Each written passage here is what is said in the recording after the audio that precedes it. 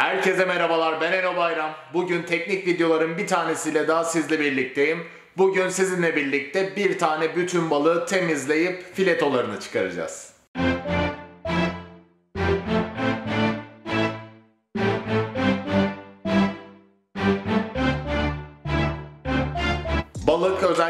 Kıyı bölgelerimizde çok fazla sofralarımızda bulunan ve hepimizin de yemekten çok zevk aldığı ürünlerden bir tanesi. Ve geçen sefer söylediğimiz gibi pişirme noktasında kaliteli sonuçlar ortaya çıkarmak için kaliteli ürünlere de sahip olmamız gerekiyordu. Bu yüzden de kendi balığımızı marketten ya da balıkçıdan alıp ne şekilde temizleyip daha sonra yemeğe, pişirmeye hazır hale getiririz. Bugün bunun hakkında konuşacağız.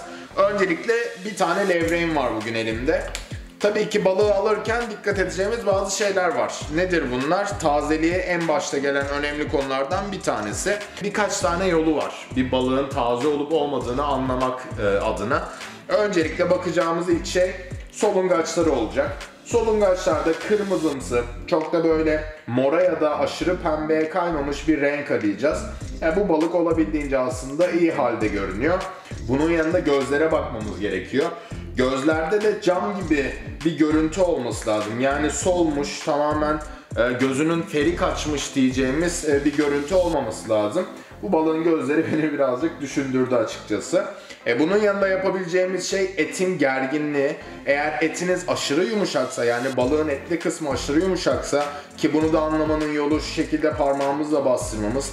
Eğer bastırdığınızda oradaki et hem fazla eziliyor hem de geriye doğru kendisini yukarıya doğru ittirmiyorsa balığınız birazcık tazeliğini kaybetmiş diyebiliriz. Bugünkü balığım iyi halde görünüyor. O yüzden e, temizleyip kullanmaya devam edeceğim. Bunun yanında tabii ki balığın kokusu da en önemli göstergelerden bir tanesi. Balığın balık gibi değil deniz gibi kokması gerekiyor taze olması için. Eğer sizi rahatsız eden böyle buram buram kokan bir balık kokusu varsa e, bu da balığımızın tazeliğini sorgulayacağımız durumlardan bir tanesi olur. Balığımızın üç kısmından bahsedeceğiz. Biri kafası. Kafasını balık suları yaparken kullanacağız kılçıkları ile birlikte. Fileto dediğimiz yandaki etli kısımları yemeklerimizde de direkt olarak kullanacağımız alanlar. Bunun yanında yüzgeçleri ve kuyruğu da yine balık suyu yaparken işimize yarayacaktır. Balığımızı işlemeye başlamadan önce yapacağımız ilk şey birkaç tane kağıt peçete alıp iyice kurulamak olacak. Çünkü balığın yapısı dolayısıyla bir kayganlığı söz konusu. E bu da biz balığımızı işlerken elimizden çok rahat şekilde kaydığında bıçakla kendimizi yaralamamıza sebebiyet verebilir. O yüzden öncelikle balığımızı ve balığı hazırlayacağımız alanı güzelce nemden kurtarmak ilk yapacağımız iş. Daha sonra ise aslında çok basit bir işlem bu yapacağımız işlem. Çünkü birazcık teknik bilgi bildikten ve tekrar yaptıktan sonra artık ezbere ilerleyeceğiniz bir konu baktığınızda. En önemli şeylerden bir tanesi tabii ki balığın pullarını almak. Çünkü balığın üstünde bizi yerken rahatsız edecek pullar söz konusu ve bunları da almamız gerekiyor. Bunun için bir tane pul kazımak adına scraper adını verdiğimiz, fish scraper adını verdiğimiz kazıyıcı da kullanabilirsiniz. Ama elinizde yoksa da hiç sıkıntı yok. Bıçağınızın arka tarafıyla, ters tarafıyla pulların ters yönünde itiş hareketleri yaparak pulların çıktığını görebilirsiniz. Bu pullar her tarafa e, sıçrama ihtimaline sahipler. O yüzden eğer mümkünse bir lavabonun içinde ya da kapalı bir e, kapalı bir kabın içinde yapmanızı öneririm. Temizliğin daha rahat olması adına.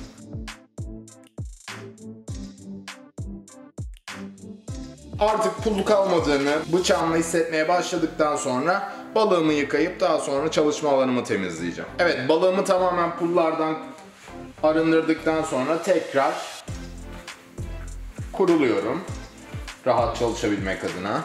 Yapacağımız ikinci şey ise yine kendimizi korumak adına balığın yüzgeçlerini kesmek olacak. Çünkü gördüğünüz gibi iğneli bir yapıya sahip ve bunun elinize batması işten bile değil. Bir makas yardımıyla ete çok fazla zarar vermeden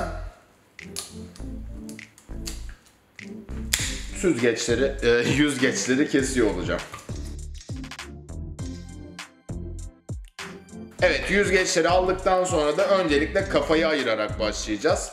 Burada da hemen şurada gördüğünüz yüzgeç ayrımının hemen arkasından boylu boyunca bir kesik atacağız.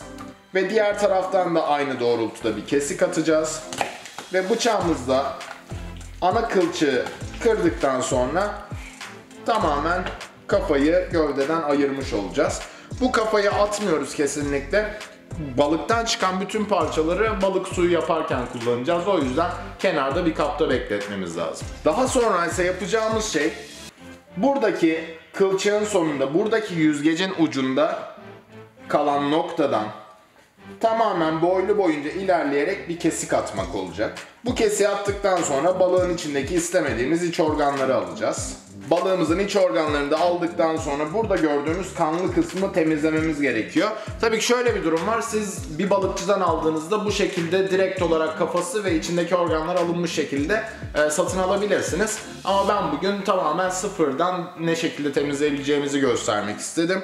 Bu noktadan sonra da bu iç kısımdaki kanlı yerleri temizleyebilmek adına iki yöntem var. Birincisi bir tane diş fırçası kullanmak. Eğer kullanmadığınız bir diş fırçası varsa bu alana sürtme yoluyla suyun altında tabii ki akan soğuk suyun altında e, bu kanları temizleme şansınız var. Eğer bir diş fırçası heba etmek istemiyorsanız da yapacağınız şey birkaç tane çöp şiş almak ya da eğer varsa elinizde bir chopstick, birkaç tane chopstickle de yapabilirsiniz.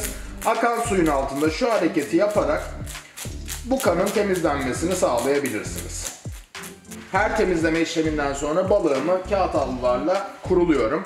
Kendi güvenliğimi sağlayabilmek adına. Bu temizleme işlemini yaptıktan sonra balığınızın iç kısmı tertemiz olarak karşınıza çıkacak. Ve tabii ki şimdi yapacağımız şey de ihtiyacımız olan etli kısmı olan filetoyu almak.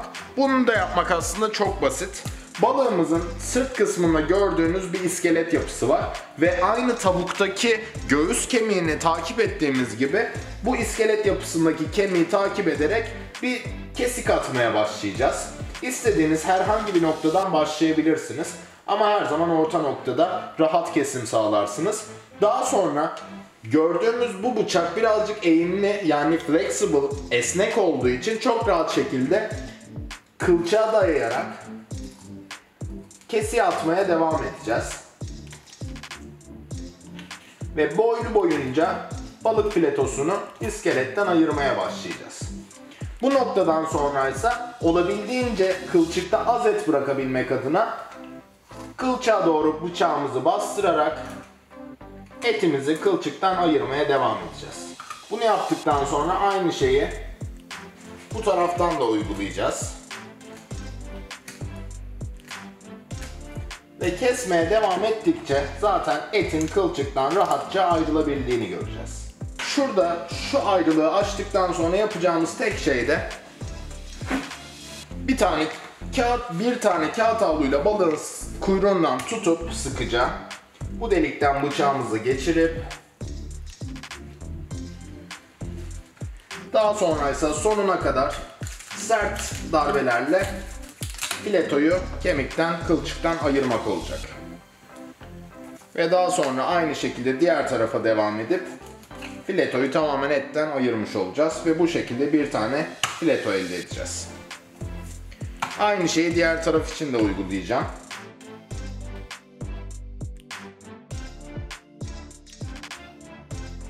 Evet bu şekilde elimde kılçık ve iki tane fileto kaldı.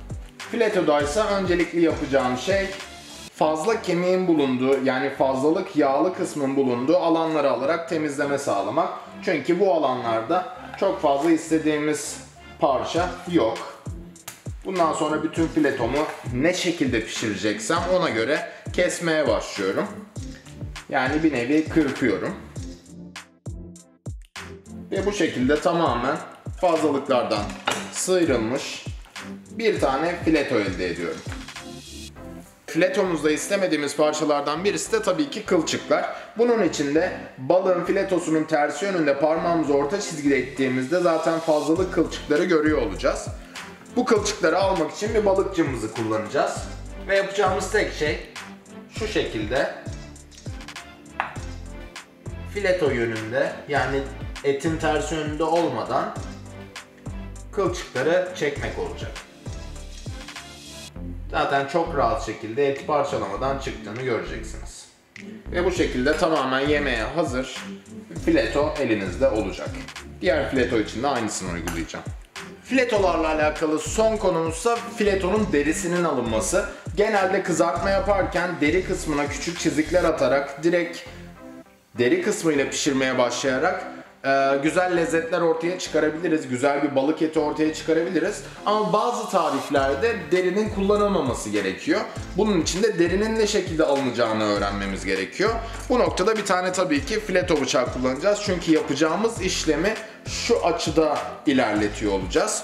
Öncelikli yapacağımız şey filetonun uç noktasından bir tane ince kesik atmak olacak.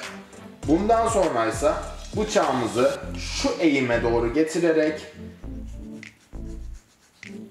yere paralel şekilde ilerletip küçük kesme hareketleriyle ilerlemek olacak.